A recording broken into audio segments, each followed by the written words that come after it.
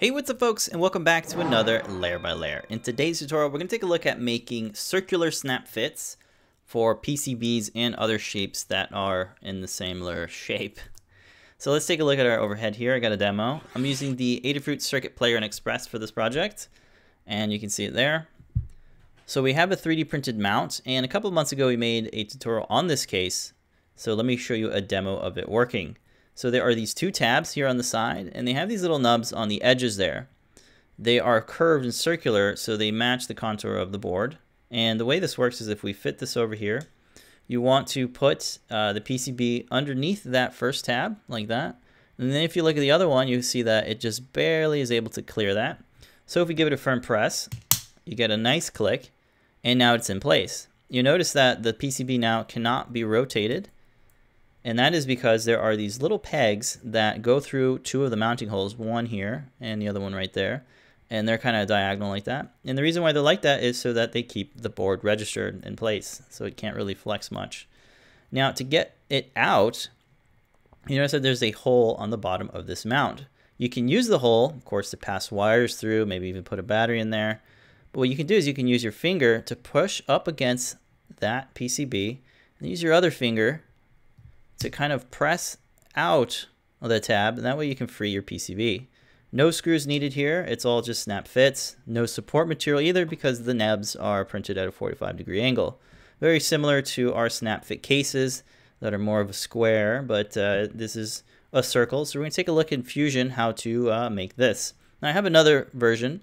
You'll notice here on the tabs, they have sort of these uh, reliefs right there, and that kind of gives the, uh, the tabs a bit more room to flex like that. You don't necessarily need those. In this case, we have uh, an outer shell here that's fully enclosed. But you notice the tabs are still in there. They just have a tiny bit of clearance between that. It gives it enough room for it to flex.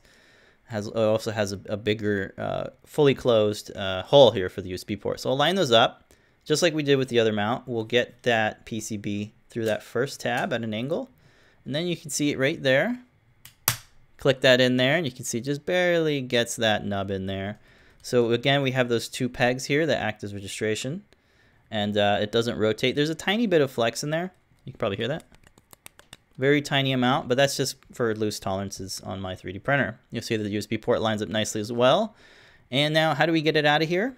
Now that you don't have any stuff on the edges to grab onto, well, I still have a hole at the bottom, so I can use that to press the press it out and then what I'll do is I'll just kind of grab my thumb in there and just carefully get it out. Super easy to do so. So those are the two different ways that you can kind of uh, create this uh, mounting snap fit for a circular board. This could be useful for not just a Circuit Playground Express, but also things like NeoPixel rings. Those are PCBs that are circular and they have LEDs on them, just like the Circuit Playground Express. So we're to jump into Fusion 360 and take a look at how to design this parametrically driven so that this can work on other projects. All right, so here we are in Fusion. I've gone ahead and saved a blank document out as circular snap fit. That's what I named it. The first thing I'm gonna do is create a new component and we'll, we'll call this like the case assembly. Not sure how many pieces there's gonna be, so I'm just gonna make this sort of a master um, component. I'll go ahead and make another one and I'm gonna start off with the bottom area, which is gonna be the mount that holds our fictitional PCB. All right, so now that I got those two components created, I'll go ahead and bring up my user parameter window. I'll go ahead and create some of these guys. Uh, the most common things that we use here is something called shell, which is like the shell of our case. I like to make it one and a half millimeters. next thing is the gap. It's a shorthand word for saying tolerances or clearance of the between distances. I'm gonna make this point three. And the next thing I'll do is I'll create another one called main diameter. This is going to be like the main diameter of our, the internal diameter of our case.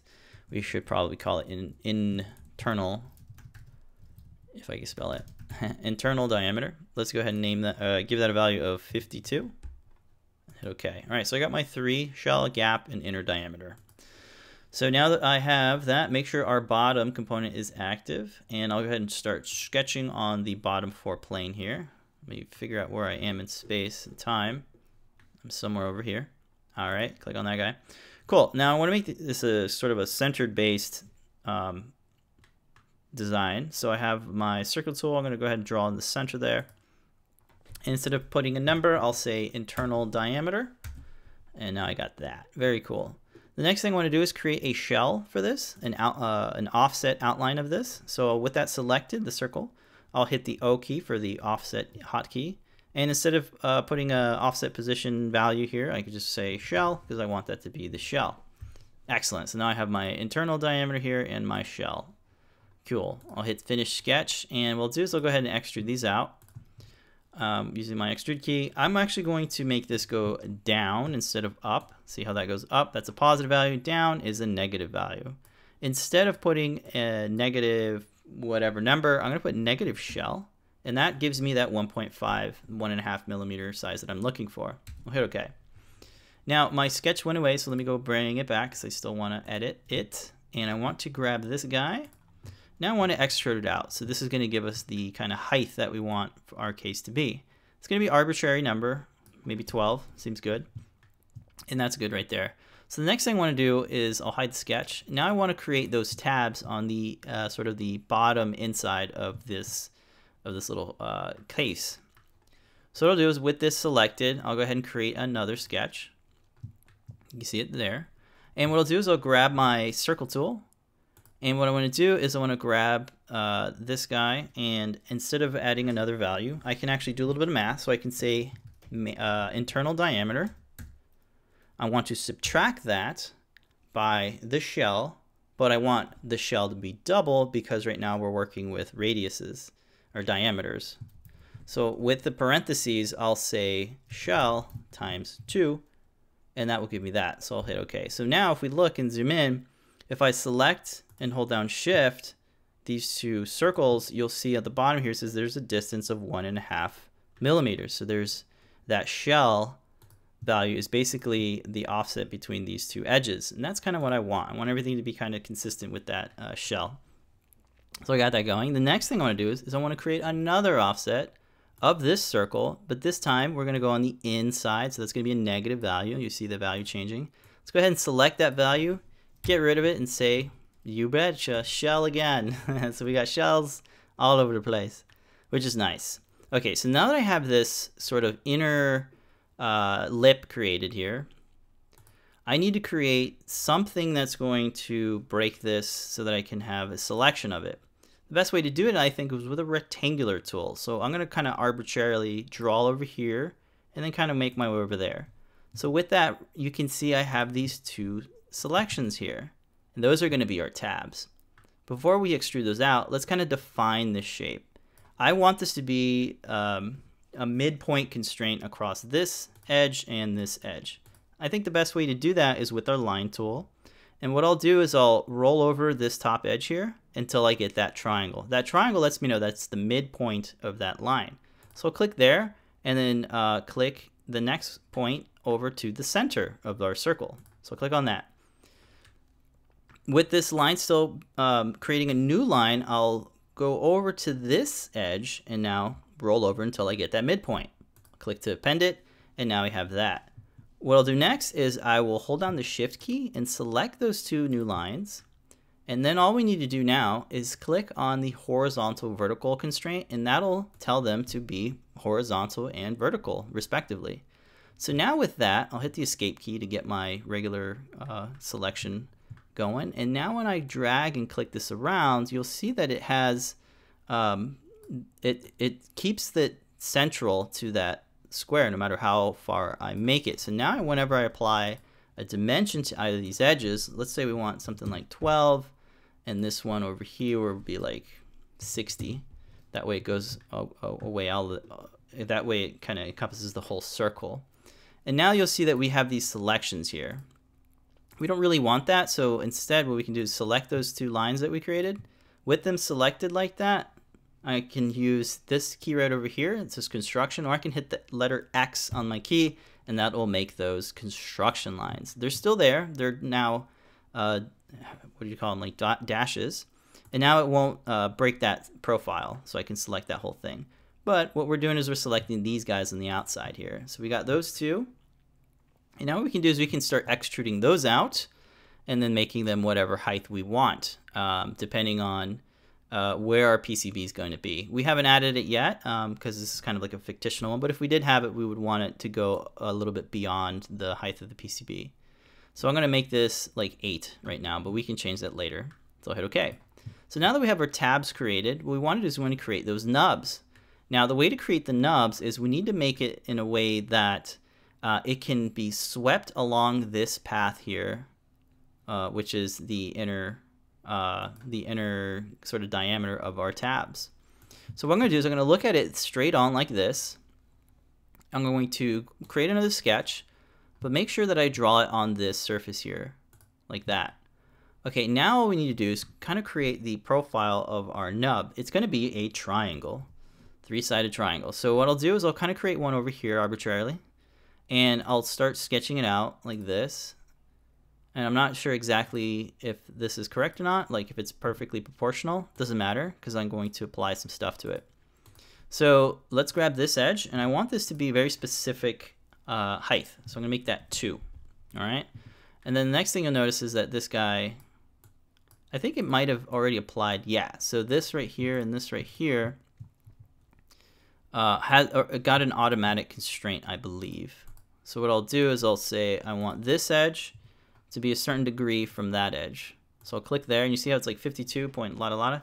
I need to make this 45 degrees, hit enter, and now you can see that it uh, it's no longer proportionate. So all I gotta do is grab these two edges, these two lines, and then say I want them to be perpendicular with each other, and that will uh, make it proportional. So now this two, these two are now also 45 degrees, and so is this one. This is 45 degrees, you can see it there. So now that this uh, this is kind of fully defined, I can drag this around and I need to define where it needs to be in space. So I'll grab the dimension tool, the letter D, and I'll click on this edge, and then I'll go down here to the bottom and click on that edge. And that will give me a distance between that edge and the center there. We need this to be, well, our inner diameter minus parentheses. Inside the parentheses, it's going to be shell times 2. Hit enter. And what we did here is we forgot to do something. I need to actually say diameter divided by 2 minus shell times 2. And that will push it right where we want it to. If we zoom in close, you can see it there. So now all we got to do is define the top. How, how far up do you want this to be? So I'm going to click here. Uh, I'm going to add a dimension to that dot and the center dot. And this way we're going to go this way like that. So it's up and down and then I'll, I'll add 8 because that is the extrusion height that we added when we first created this tab. And that's kind of where we want it to be. So I'll hit stop sketch now. And what I can do now is actually start to sweep this profile along this edge. Okay, so let's go ahead and grab our sketch toolbox, type in sweep, click on it, and I'll select this. Well, let's go ahead and take a look at our panel first. Type is set to single path, what we want. Profile wants me to select it, so I'll select a triangle. The path, Let's select that and we're going to click on this top edge here. Now you can see that it is uh, swept uh, from edge to edge. You'll see that there's two distance input boxes. This is saying 1.0. This is also saying 1.0. If we bring in these arrows, you can start seeing the value change. You can't actually apply a, a real value distance millimeters. It's more of like an integer. So it's like a 1 or 0.01 or something like that. So we can put 0.8 over here and 0.8 over there if we wanted to uh, make it not so uh, to the edge. But if you do, you can just leave it at 1 and 1. Okay, there's also some other things that we can play with, but we don't really need them in this particular case. I'll hit OK. Now we have those guys here. And if you want, you can kind of clean up these edges here, round them out rather, not clean them up, but you can rad them out if you want, um, if, if, you don't want to poke your hands, um, your fingers when you're in there. And that looks pretty good. Now, you're wondering, well, what about the other side? Well, the other side, let's go ahead and go back into that first extrusion of our tab and deselect this guy over there. That way it's just one tab. Okay. And it, since it's mirror, since it's symmetrical based design, we can just completely mirror this whole tab. Best way to do so is with the mirror command. So I'll say sketch toolbox and then type in mirror, enter. I'll change the pattern type from faces to features and that way we can just go ahead and select this extrusion, this sweep, and that fillet. Now where it says mirror plane, go ahead and select, and we want to mirror it right on this plane here. get a little green preview of where the tab's going to be. That's exactly where it should be. So I hit enter, and now we have our two tabs. Excellent. Now what's cool about this is because we drove everything with that inner diameter um, user parameter, we can just change this willy-nilly, and our stuff will change with it. Very cool, because the way we use the shell and the way we use the internal diameter, it's always going to have that shell distance. And if we increase the shell, a lot of things are going to change. You're going to see, um, let's put two, for example. You can see that the, the tabs are a little bit pushed more. The, uh, the shell is actually uh, bigger. And uh, our, anything that uses shell is obviously now two. So you can play with that number if you want. But I think that's an interesting way to try to drive this. We are missing a couple of elements uh, to make this uh, an actual case. But really, this is uh, the core of what I think you can do. You can now apply this sort of method, the sweep method, to this uh, top edge, and you can create a cover. And you can create a cover by creating um, uh, another uh, another component, and then kind of creating something that would catch this, um, kind of creating that chevron shape that you that you've seen in other cases. But that is kind of how to do it. Uh, I do have another uh, more in-depth tutorial on to show exactly how I created this uh, this mount for the CPX. So definitely check that out if you'd like to see it. This is just a good uh, condensed way and a good way to demo uh, this type of method. I don't want I, I don't want to make it particularly for the Circuit Playground, so that's why I was uh, making it for this kind of fictional PCB that we don't have yet.